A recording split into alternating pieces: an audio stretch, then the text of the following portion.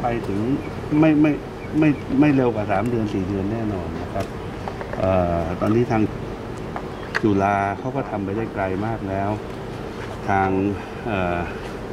ไบโอเน็ตเอเชียนะครับซึ่งเป็น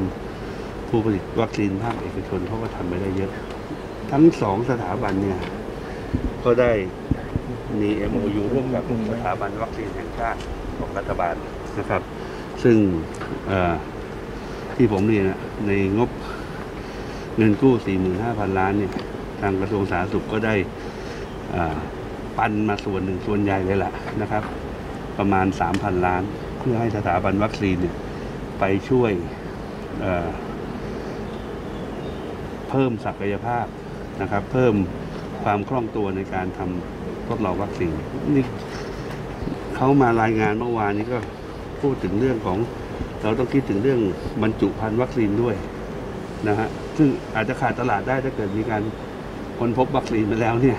ขวดวัคซีนนี่เดี๋ยวขาดตลาดอีกใช่ไหมเพราะฉะนั้นเราก็ต้องเตรียม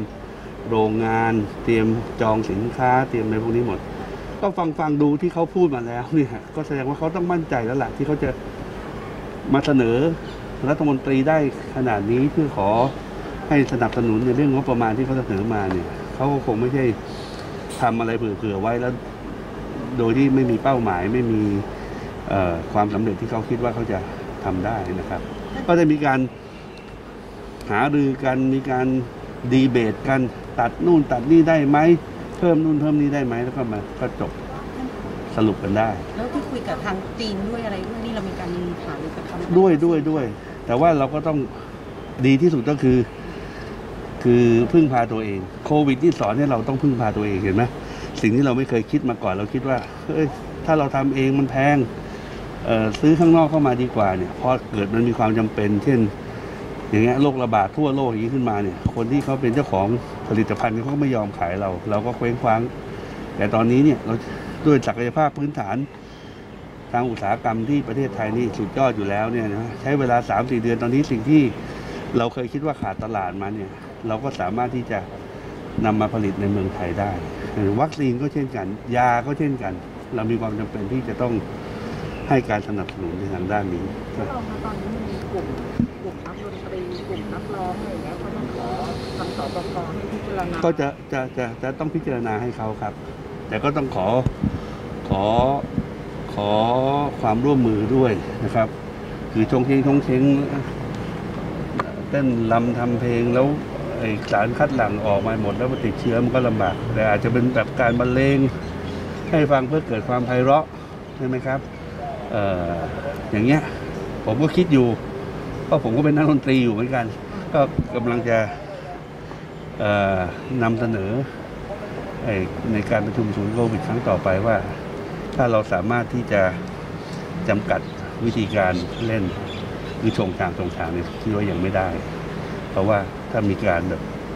แบบเรียกว่าอะไรมีการแสดงสดในลักษณะโค้งซองอะไรธรรมดาก็ก็คงใช่ก็ก็คงอาจจะขอขอทางเอ่อผู้ที่เกี่ยวข้องขอทางอาจารย์แพทย์ทั้งหลายว่า หรือว่ากรมควบคุมโรคว่า comfortable แค่ไหนนะครับเอ่อยังไงต้องใส่หน้ากากแน่นอนถ้าทุกวันนี้เนี่ยสิ่งที่เราน่าจะยอม flexible ได้อีกระดับหนึ่งก็คือ ดูแล้วเนี่ยเรื่องเรื่องเว้นระยะเนี่ยก็ขอความร่วมมือ แต่ว่ารู้สึกก็ยังไม่ค่อยเว้นกันเท่าไหร่ก็ ขอให้ใส่หน้ากากก็แล้วกันใส่หน้ากากก็ค่อนข้างที่จะคัดกรองไปได้มากกว่า 80-90%แล้วก็ถือว่าปลอดภัยระดับหนึ่งนะครับการผ่อนคลายเฟสสี่ที่ผ่านมานะคะหืมเรื่องนี้จะเข้าสบควันไหนอะเห็นก็นัดประชุมเบื้องต้นเนี่ยเขาว่าสุกร์หน้า สุกร์หน้าก็คงจะต้องมีการ นำเสนอการเตรียมพร้อมวันนี้ก็ได้เชิญทางท่านที่ดีกรมควบคุมโรคมา เดี๋ยวจะมีท่านเอกข้าทูตญี่ปุ่นมา ก็คงมาคุยเรื่องเอ่อ travel bubble อะไรเนี่ยนะ แล้วก็ต่างคนก็จะต่างจะหายื่นข้อเสนอซึ่งกันและกันนะครับ เป็นร่างก่อนว่าโอเค เรารับเงื่อนไขอย่างนี้ได้ไหม คุณจะคัดกรอง fit to fly ของคนที่จะออกจากญี่ปุ่นมา แบบที่เราต้องการได้ไหม หรือว่าในขณะเดียวกันเขารับรูปแบบของเราที่จะคัดกรองคนไทยของเราที่จะไปญี่ปุ่นฟิตูฟลายแบบนี้ได้ไหม ซึ่งซึ่งเราก็ต้องเตรียมเตรียมพร้อมไปเพื่อนำเสนอท่านนายกรัฐมนตรี แล้วก็นำเสนอสบคนะครับให้มีให้พิจารณาต่อไปนะครับเป็นเป็นไปตามขั้นตอนที่เราจะต้องค่อยๆอ่าทำความ ปกติให้กลับคืนให้กับประเทศให้มากที่สุด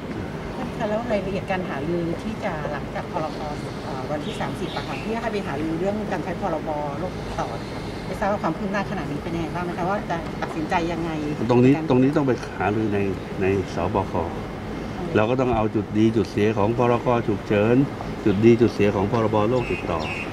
นะครับ แต่ว่าสิ่งที่สำคัญที่สุดเนี่ยไม่ว่าจะใช้ กฎหมายฉบับใดก็ตาม สิ่งที่เราคำนึงถึงก็คือความสะดวกของประชาชน ความปลอดภัยของประชาชนเป็นหลักไอ้นั่นสำคัญกว่ากฎหมาย ความปลอดภัยของประชาชนสำคัญที่สุด เพราะฉะนั้นถ้าเกิดตรงไหนก็ตามที่ต้องใช้แล้วให้เกิดความปลอดภัยกับประชาชน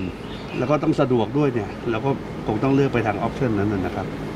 อย่างใช้ภายใต้พรบนี่มันทำให้เกิดความสะดวกได้ไหมคะถ้าเกิดจะมีสถานมันก็สะดวกในเรื่องของการคือพอเรา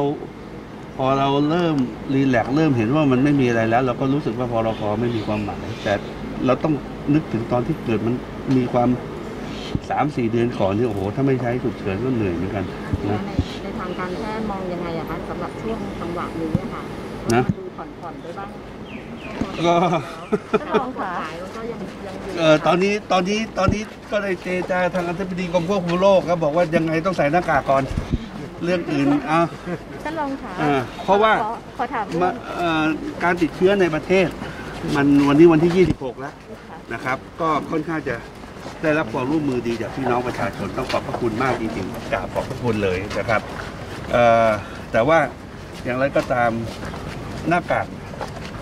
ยังไงใส่กันไว้ ดีที่สุด ท่านรองนะครับ ขอถามถึงเคอร์ฟิวไม่มีแล้วอะไรไม่มีแล้วเลยเราก็ต้อง ตอนนี้ความปลอดภัยที่สุดคือหน้ากากนะครับท่านรองคะพรรคภูมิใจไทยจะนัดประชุมวันไหนคะฮะมีนัดพรรคภูมิใจไทยจะมีนัดประชุมเพื่อตกลงในเรื่องพรรคภูมิใจไทยมันก็ประชุมพักทุกอาทิตย์อยู่แล้วนะคะแต่เรื่องประชุมเรื่องประเรื่ชุองมพักเป็นสสประชุมรัฐมนตรีสมาชิกล่ะคะฮะที่จะเสนอนายกอะค่ะ ยังไม่ได้รับสัญญาณอะไรเลยเหรอมีมีไว้ในใจหรือยังคะหรือว่าต้องยังโควต้าเดิมไหมคะไม่ใช่นายกเดิมก็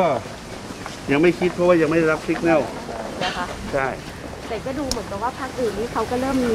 การเสนอชื่อมาแล้วนะคะก็พรรคภูมิใจไทยไม่มีปัญหาใช่ไหมคะ no problem no problem ขอบคุณค่ะ